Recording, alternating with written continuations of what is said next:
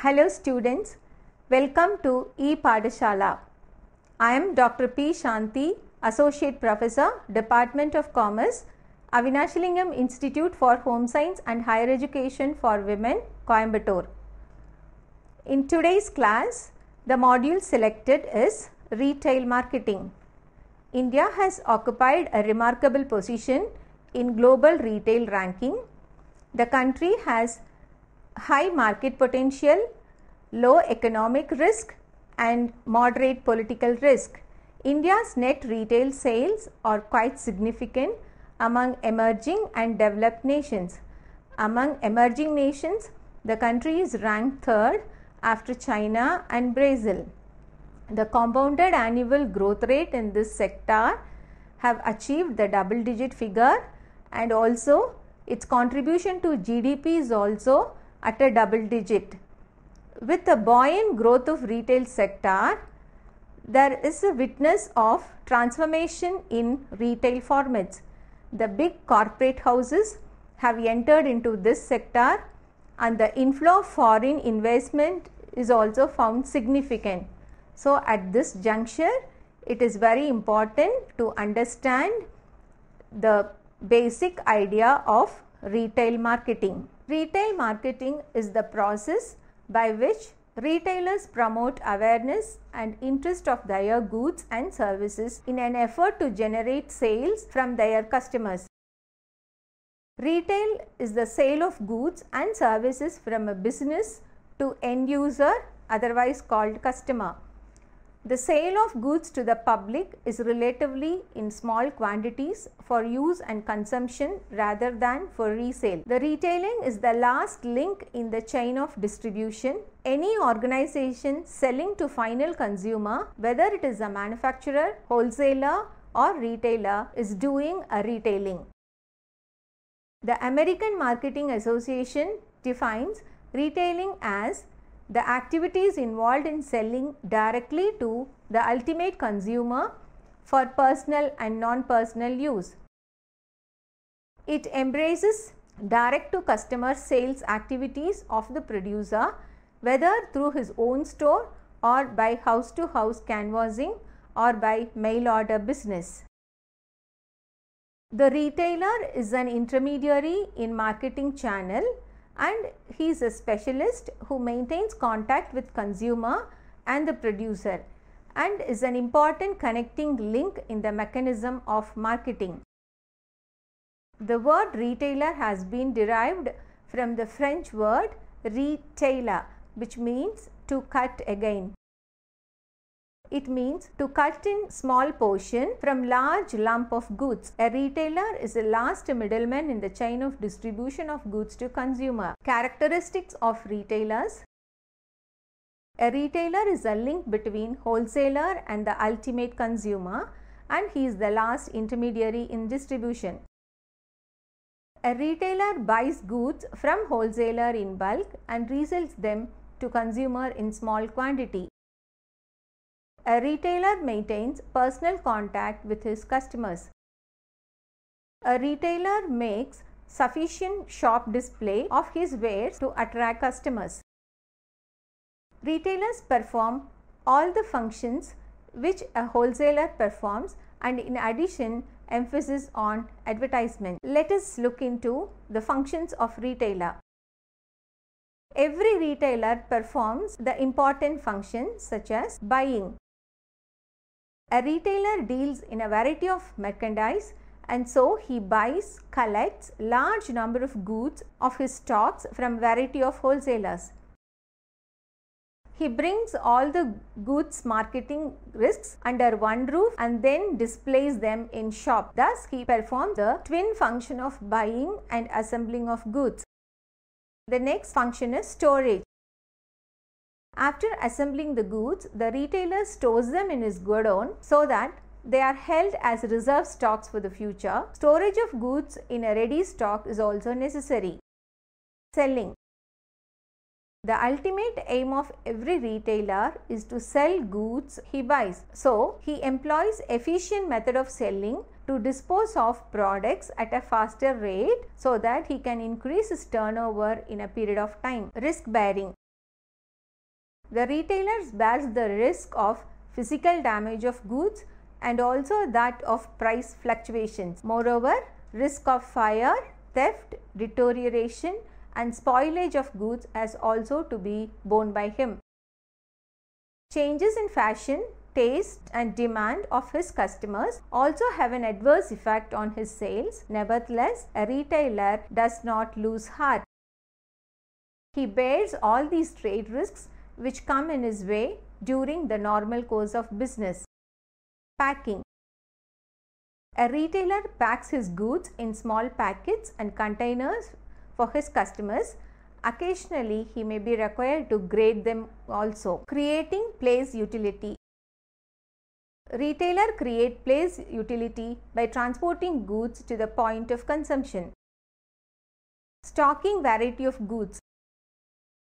Retailer buys variety of goods from various manufacturers and wholesalers. Thus, a retailer provides a wide range of choice enabling the consumer to select the products of their choice. Credit facilities to customers.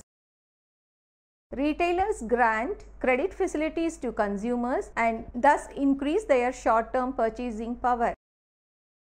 Providing information to customers and wholesaler.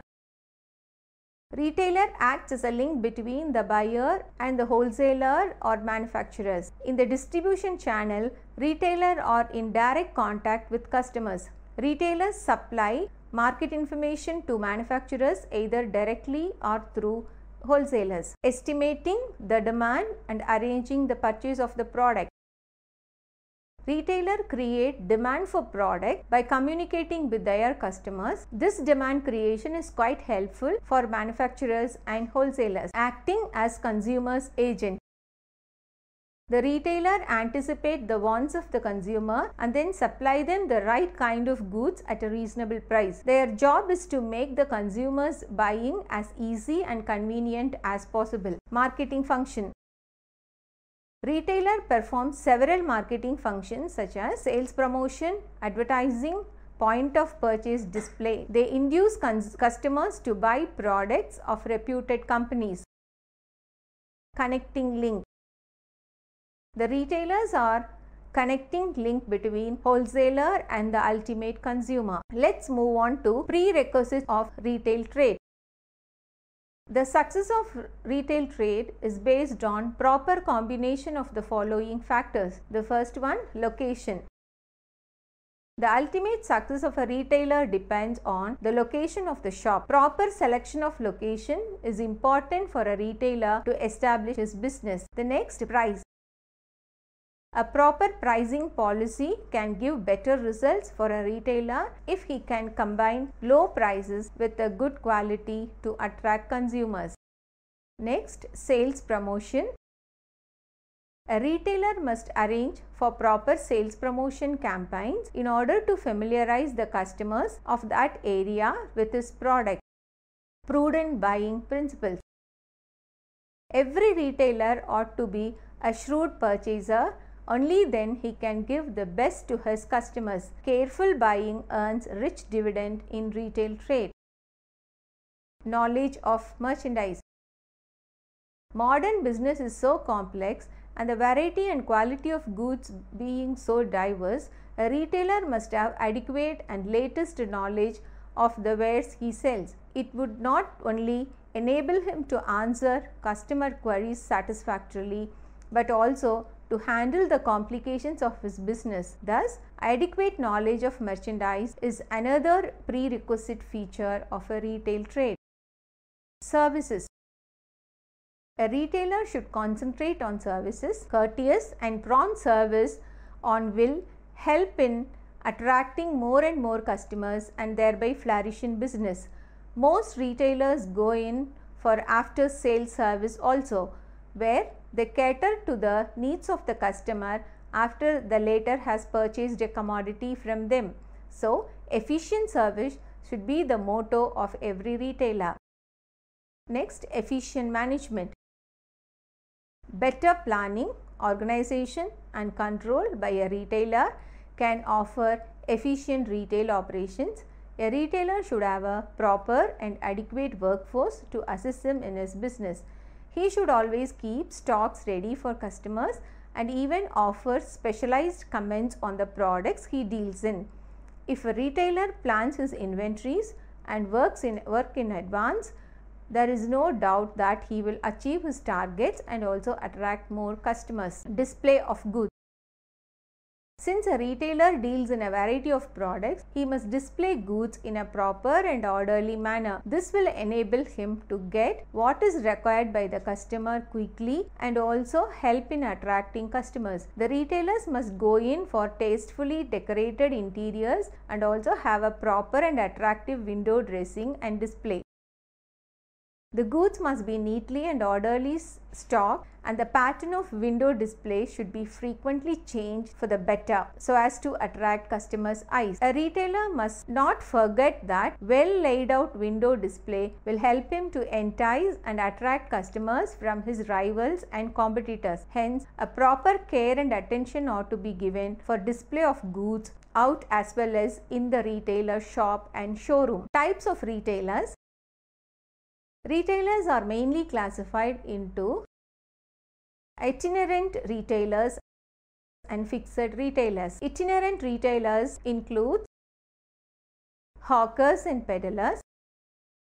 A hawker is an individual who sells wares by carrying them through the streets. A person's ordinary method of attracting attention includes addressing the public, using placards, labels and signs or displaying merchandise in a public place. A peddler is defined as a retailer who brings goods from place to place and exhibit them for sale. Cheap jacks, one who sells cheap and second rate goods. Market traders, a person who sells goods from a stall in a market. Street traders, a person who sells something in the street either from a stall or a van or with their goods laid out on the pavement. Fixed retailers are classified into small scale and large scale retailers. Fixed shop retailers, street stall holders. A market stall is a typically immobile temporary structure erected by merchants to display and shelter their merchandise in a street or other setting.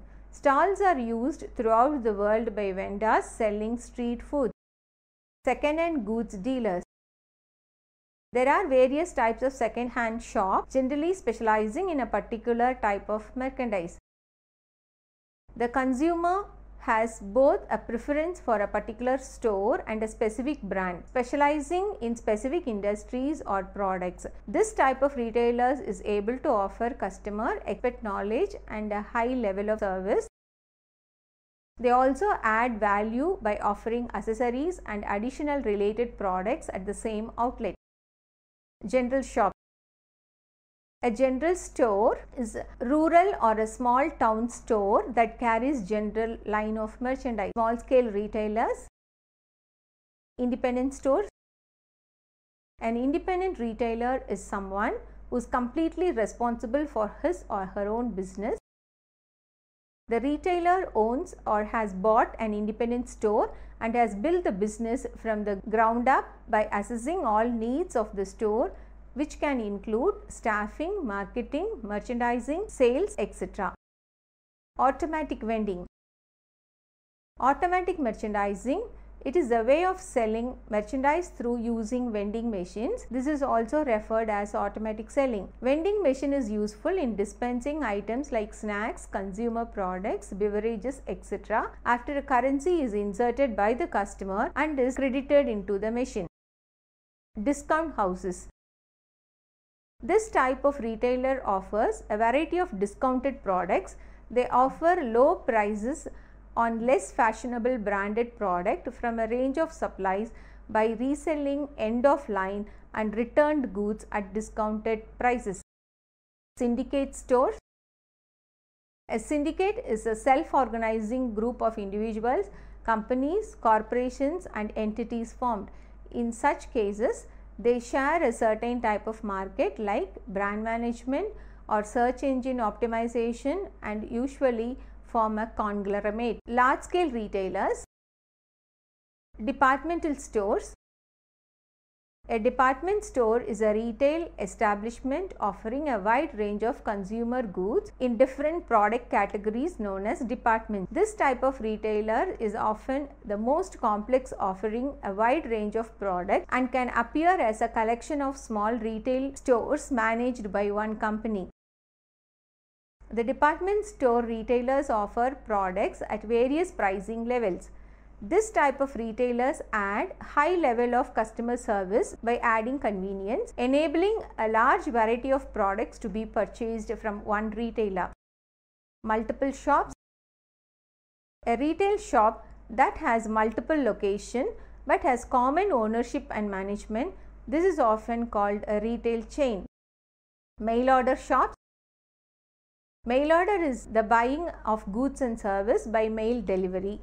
The buyer places an order for the desired product with a merchant through some remote method such as through a telephone call or website. Catalogers buy or manufacture goods then market those to the prospects. Hire purchase and installment. A hire purchase is a method of buying goods through making installment payments over time. Under hire purchase contract, the buyer is leasing the goods and does not obtain ownership until the full amount of contract is paid.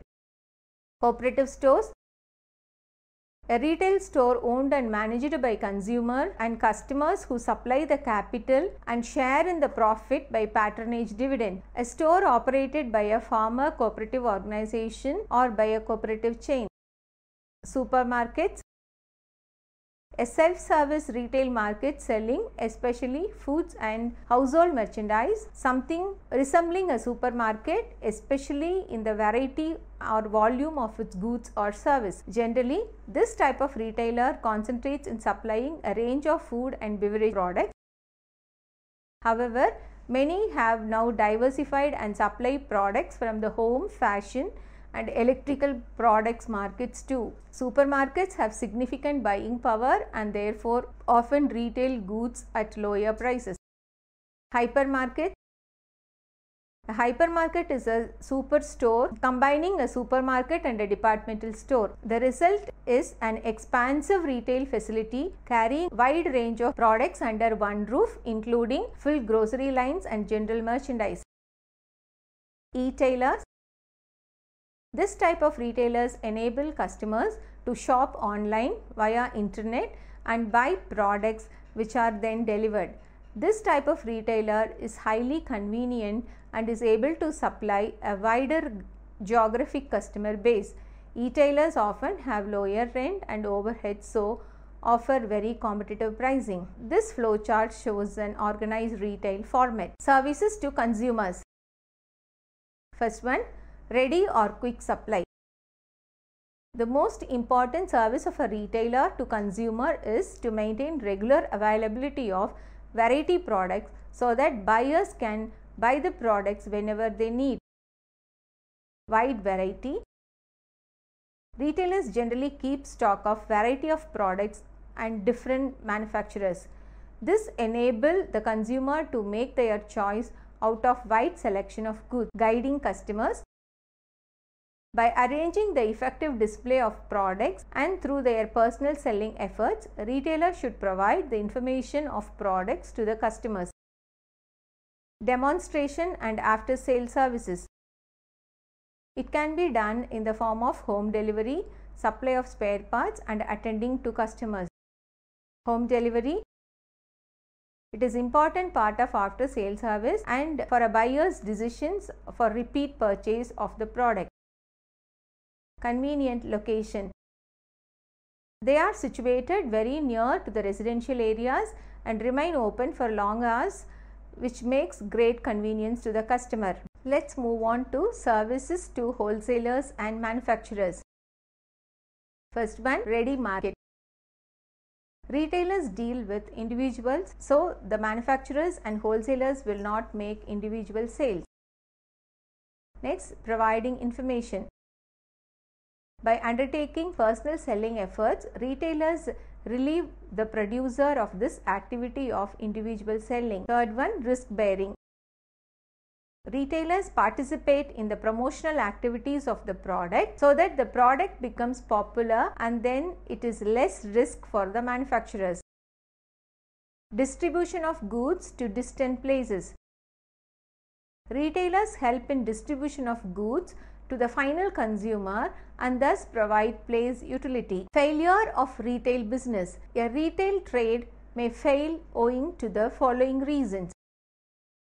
Limited financial resources, lack of experience in the line, faulty credit policy of retailer, change of customers outlook, natural calamities, personal factors, poor location of shop, poor advertising and window display, impolite and discourageous behavior of retailer, poor service of retailer, stiff competition from rivals in the same trade, poor or lack of foresight of the retailer which leads to faulty planning, organization and control of business, financial crunch that is limited capital resources of the retailer, unplanned spending by the retailer for personal needs. Let me summarize by saying retailing in India is one of the pillars of its economy.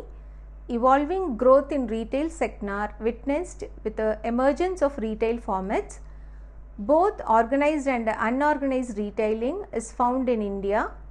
Competition and investment in retail will provide more benefits to consumers through quality goods, lower prices, wider availability and significant improvement in supply chain logistics. Retailing has mirrored the increasing prominence of the retail industry. Retailing provides a positive contribution to the economy. It reshapes the lifestyle of the people. Retailing itself has emerged as the academic course and has have the scope for expanding internationally. Thank you.